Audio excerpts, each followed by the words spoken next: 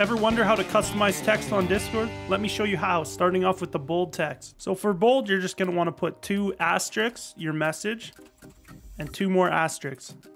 Hit enter and your text will be bold. Now we're gonna do italic text. So for italic, just do an asterisk, put your message, and put one more asterisk at the end. Hit enter and you'll have italics font.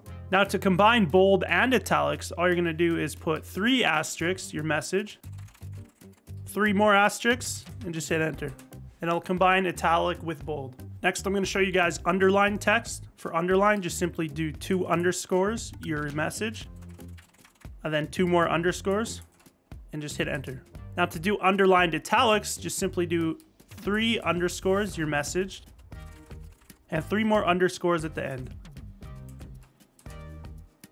I'm going to show you guys how to do strike through text or just put a line through the middle of your text. So you're going to want to put two tildes. That is this symbol right here on your keyboard if you're wondering. Put your message.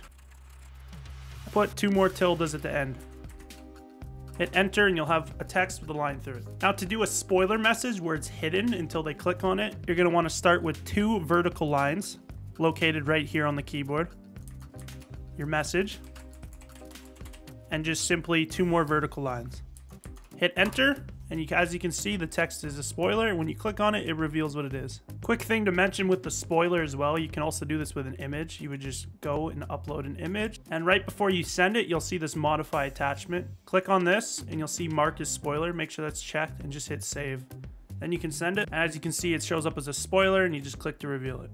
Next, I'm to show you guys how to do the block text. All you're going to do for this one is just a backwards tick, which is located right here. Put your message, and just finish it with another backwards tick. Hit enter and you'll have some block text. You can also do multi-line block text. To do this, all you're gonna do is do three backwards ticks.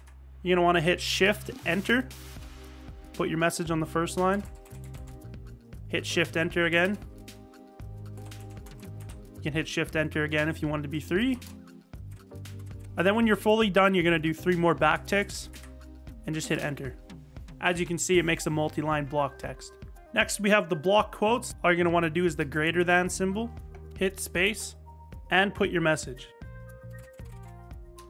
As you can see, you'll have a little quote line. So just like the multi-line block text, you can also do multi-line quotes. So to do this, you're want to do three greater than symbols, hit space, put your word, hit shift tab once again to the next line. And as you can see, it's that simple. You just keep going. And once you're finished, you just hit enter. Next, I'm going to show you guys the invisible text. So for this one, all you're going to want to do is do an underscore, hit space, and do one more underscore. Now when you hit enter, it sends an invisible line.